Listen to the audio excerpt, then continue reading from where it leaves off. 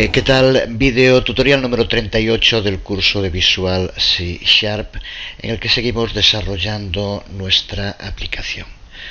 Y nos vamos a centrar ahora en ver cómo podemos trabajar con datos en una aplicación de la Windows Store.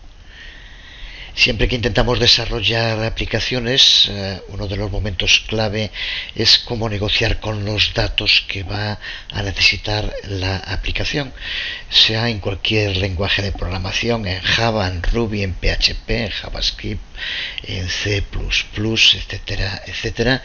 La lógica del negocio, que es como se le denomina, del intercambio de datos es determinante. Desde luego existen muchos modos de abordar este tema, muchos patrones que han ido evolucionando en los últimos años. Vamos a empezar intentando entender cómo se aborda este tema en las aplicaciones de la Windows Store utilizando Visual C Sharp.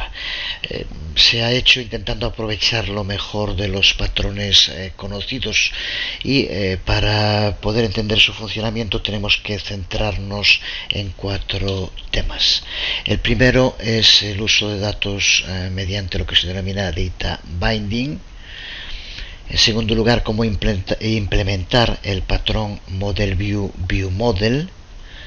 En tercer lugar, cómo crear eh, un View Model. Y por último, el uso del sistema de búsqueda con el que cuenta Windows 8.1 eh, que se conoce como Search Contract.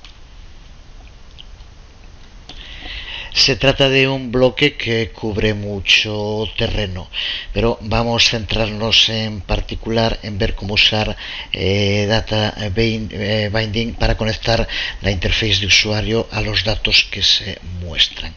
También cómo crear un View Model, que es el que nos va a permitir separar la lógica de la interfaz de usuario del modelo de datos y de la lógica del negocio de una aplicación. Ya digo que veremos también cómo usar los eh, contracts que es em, una característica de búsqueda que se integra dentro del sistema operativo de Windows 8.1 y que permite de modo muy sencillo incluir sistemas de búsqueda dentro de nuestras aplicaciones. Y en definitiva, como siempre, a medida que vayamos construyendo esta aplicación, también iremos conociendo mucho más en detalle todas las eh, plantillas que Microsoft Visual Studio 2013 provee para ayudarnos a construir las aplicaciones de la Windows Store. En la actualidad cualquier aplicación bien estructurada y desde luego también las de la eh, Windows Store separan de modo muy claro el diseño de la interfaz de usuario de los datos que use la aplicación y de la lógica de negocio que comprende la funcionalidad de la aplicación. Ya mm, hemos hablado de este tema en, muchos videotutoriales y cursos porque es una tendencia al uso de patrones que está totalmente consolidada. Eh, sus ventajas son muchas, eh, permite el reciclaje de los distintos componentes y se adapta mucho mejor para el trabajo en grandes equipos. En los últimos años han aparecido muchas eh, técnicas para ayudar a estructurar una aplicación de este modo, lo que se conoce como patrones. Suelen estar relacionados entre sí y en la actualidad, a día de hoy, el método más eh, popular es el que se conoce como el patrón de diseño eh, Model View View Model. En estos momentos estoy elaborando otro curso sobre Meteor JS, un framework JavaScript que implementa eh, también este mismo patrón. Porque a pesar del aparente marasmo en el que se sume el desarrollo de software en general, lo cierto es que en el fondo la orientación es clara y bastante sencilla. Y no es una casualidad que dos de las tecnologías más recientes y con más futuro, como Meteor JS y las aplicaciones de la Windows Store con Windows 8.1 usen este mismo patrón. Patrón que ni mucho menos parte de cero y que en definitiva se trata de una evolución de los patrones MVC, modelo vista controlador, que se han impuesto en los últimos años.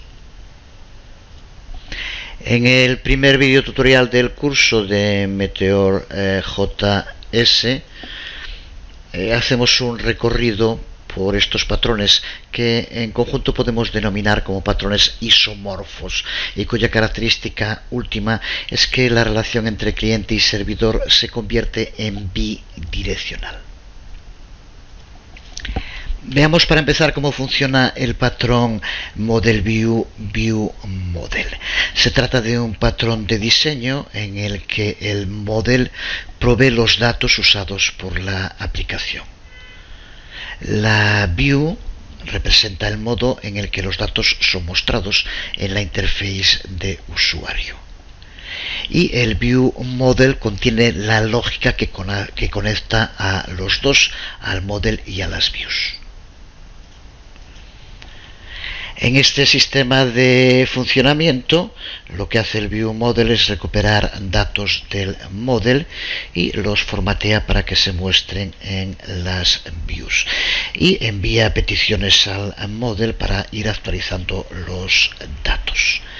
Este sería el modo de funcionamiento típico que podíamos usar también para el eh, patrón modelo vista controlador.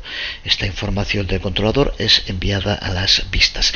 El gran cambio en el eh, patrón eh, model view, view model es que ahora el view model permite una conexión bidireccional. No solo el model envía información al view model que cambia las vistas, sino que las views pueden también enviar información al view model que cambia el model.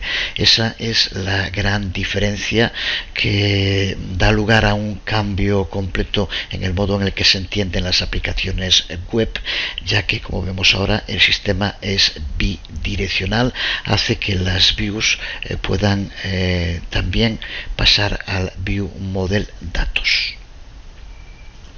Este sería un diagrama simplificado de este Y el primer elemento a tener en cuenta, que ya sabemos por lo que hemos visto hasta ahora, es que eh, una aplicación puede proveer múltiples vistas para los mismos datos.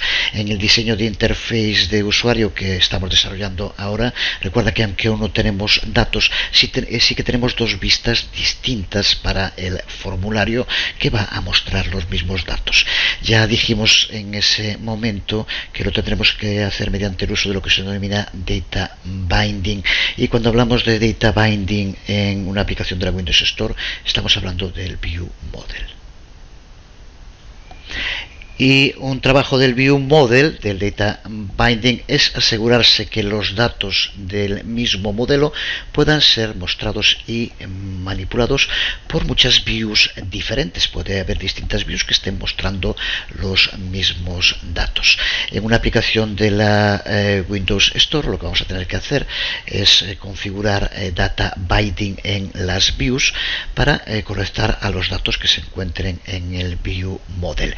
Pero ya digo que el gran cambio es que la view puede solicitar también al view model que actualice los datos en el modelo y por tanto que ejecute tareas de negocio invocando comandos que se encuentran en el view model sin depender para nada del modelo.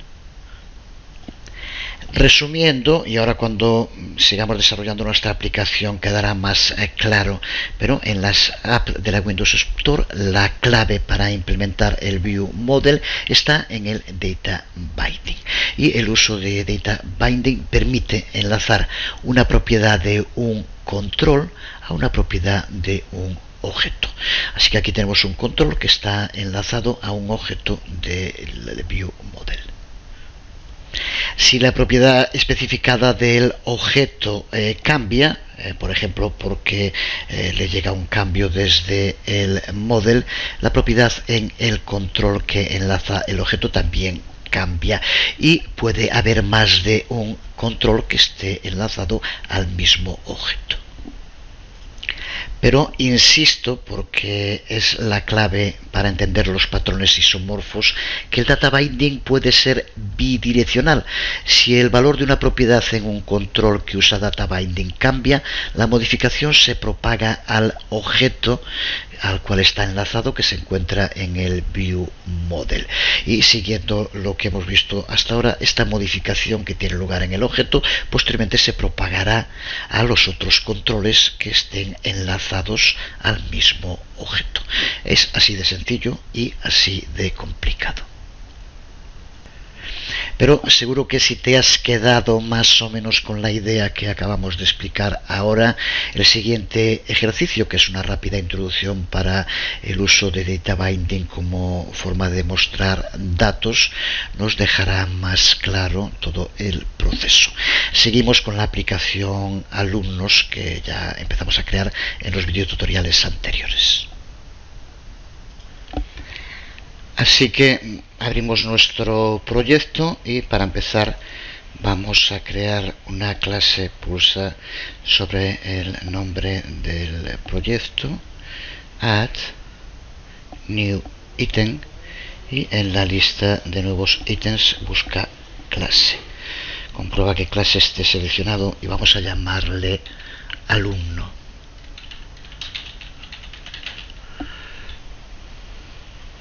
pulsamos add y nos abre ya el archivo con la estructura básica. Vamos a utilizar esta clase para implementar el tipo de datos alumno y luego implementaremos eh, data binding, enlace de datos para mostrar los detalles de objetos alumno en la interface de usuario en la view. Vamos a empezar por hacer la clase pública y ahora vamos a escribir en el cuerpo el siguiente contenido. Este es el código eh, largo pero muy sencillo. Se trata, como eh, puedes ver, de get eh, para los eh, distintos, las distintas cajas de texto que tenemos en nuestro formulario para cada una de ellas y de curso, aunque lo del curso lo veremos un poco más en detalle porque es un combo box, pero nombre, apellidos, dirección, email, teléfono. Tenemos aquí el get set para la configuración de los datos y la recuperación. Eh, puede que te preguntes eh, por qué estas propiedades no las implementamos como propiedades automáticas. Eh, lo único que hacen es un get y set al valor que se encuentra en un campo privado. La razón es que más adelante añadiremos código adicional dentro de estas propiedades. Vamos ahora a main page donde está el diseño de nuestra aplicación.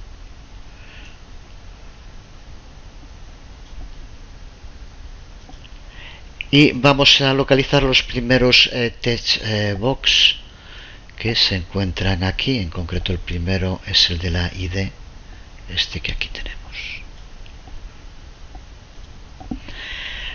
cuenta con el atributo text que de momento está vacío por eso aparece en blanco. Pero lo que queremos es enlazarlo eh, para que muestre o recupere get y set eh, los datos eh, que vayamos indicando en la clase que estamos creando. Si volvemos al 1cs observa como aquí lo que hemos creado es para el primero alumno id así que este es el que tendremos que referenciar y tendremos que hacer lo mismo con los otros. Ya lo vemos ahora para no estar volviendo. Ya digo que el de curso lo veremos en su momento porque es un combo box pero aquí tenemos nombre, apellidos, email, teléfono. Así que vamos aquí y modificamos el contenido que hay en test. Y lo sustituimos por aquí lo tenemos entre llaves binding alumno id. Una vez más un ejemplo de este modo minimalista tremendamente sencillo de trabajo para este tipo de apps de la Windows Store. Con esta sintaxis es igual y entre comillas y llaves binding y la ruta al objeto, lo que hacemos es especificar que el valor de esta propiedad 3 será provisto por el valor de la expresión que se encuentre en esta ruta en tiempo de ejecución. En este caso, eh, la ruta para buscarlo está eh, configurada como alumno ID, así que el valor que contenga en cada momento la expresión alumno ID es la que será mostrada en este control. Aunque eh, para que funcione tenemos que proveer un poco más, solo un poquito más de información que indique que alumno ID es realmente una propiedad de un objeto alumno. Y para hacerlo podemos configurar la propiedad data contest del eh, control. Es lo que haremos dentro de un momento. Pero antes vamos a repetir el proceso en todos los test eh, box. Vamos a cambiar test que aparece vacío por binding a la propiedad del objeto alumno que en cada caso corresponda. Hay que hacerlo eh, tanto en la vista tabular como en la vista columnar, en las dos. El proceso es muy sencillo. Aquí, por ejemplo, lo mismo, pero con binding nombre y seguimos en el otro text eh, box con binding apellidos, email, teléfono. No vamos a hacerlo en el vídeo tutorial ya está modificado en todos eh, esto es en la mm, vista columnar y observa como también ya lo he cambiado aquí para todos. Ahora vamos a abrir si no lo está el archivo mainPageShample.cs el que tenemos ahora en pantalla. Y dentro del constructor de mainPage vamos a incluir este código código que no creo que tenga que explicar nada, crea una nueva instancia de la clase alumno y la puebla eh, con algún ejemplo de datos. Y después del código que crea el nuevo objeto alumno es cuando tenemos que añadir el data contest que decíamos hace un momento. Así que escribe esta expresión.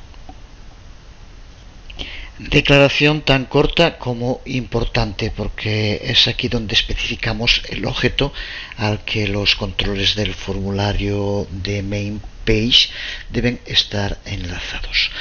En cada uno de los controles, el marcador SHAM que acabamos de crear ahora, para cada uno de ellos, aquí tenemos por ejemplo este primero, pues este marcador sample es binding alumno id es el que se va a resolver a través de lo que acabamos de escribir ahora en mi page cs que se encuentra aquí. Aquí le indica que los datos que tiene que usar son los del objeto alumno Eh, por eso, volviendo otra vez a main page sample, observa como aquí en este text box eh, de nombre id le indicamos que en el texto aparezca binding alumno id que por tanto se va a enlazar a la propiedad del objeto alumno id que aquí tenemos. Pero observa como volviendo aquí si buscamos el otro diseño el columnar eh, por aquí tiene que estar el otro test eh, box. Aquí está. Y observa como aquí el nombre es CID pero si vamos a el test exactamente tenemos el mismo binding binding alumno id por tanto los dos apuntan al mismo valor que se encuentra dentro del objeto alumno en esta propiedad. Por eso los dos tienen que mostrar la misma información Decir también que en este ejemplo hemos configurado la eh, propiedad data contest con des a el propio formulario. Así que el mismo data binding automáticamente se aplica a todos los controles que se encuentren dentro de este formulario. Eh, pero desde luego también podríamos eh, configurar esta propiedad data contest para controles individuales si tuviéramos que enlazar los diferentes controles a diferentes objetos. Veremos algún ejemplo en el desarrollo de la aplicación pero de momento nos sirve eh, un único objeto alumno para todos los controles que tenemos en nuestro formulario.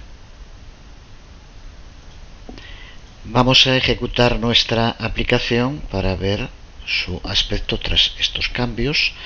Ahora estamos en la vista tabular y observa cómo los, eh, las cajas de texto muestran la información con el valor de las propiedades que hemos creado en nuestro objeto alumno.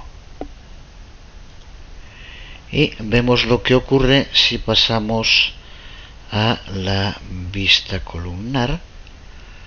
Observa cómo se siguen mostrando los mismos datos en los mismos en las mismas eh, cajas de texto ya que el data binding del control eh, apunta al mismo objeto.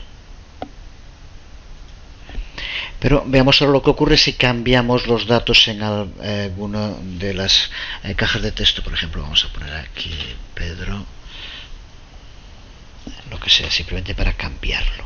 Y ahora vamos a volver a mostrarlo en pantalla completa y observa cómo en pantalla completa este campo no cambia, se mantiene el que teníamos original. Mientras que aquí lo hemos cambiado.